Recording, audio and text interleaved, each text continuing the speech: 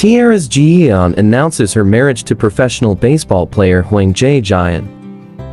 On February 10th, Ji Yeon shared on her Instagram the handwritten letter as well as a few photos of the couple with fans. She wrote, Hello, it's Ji Yeon. There was a story I wanted to tell my fans directly, so I had the courage to write this. I debuted in my teens, and time has passed, and I'm already in my 30s. After debuting when I was young and afraid of everything, when I withdrew from anxiety in my teens and even my 20s, when I wanted to give up in a difficult time, you always reached out and held me silently.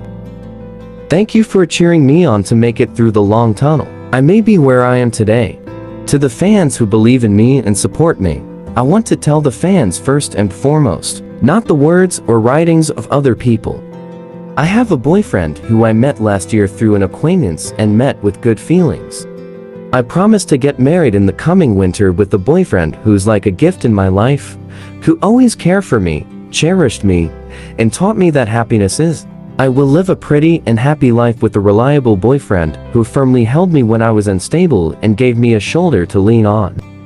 I'm worried you may have been surprised by the sudden news. The day will come when I can share this happiness with you too. So I'm very nervous and nervous as I write each letter. I'll continue to repay you with a good image in the future for the support and love that the fans send. Thank you and I love you. Congratulations.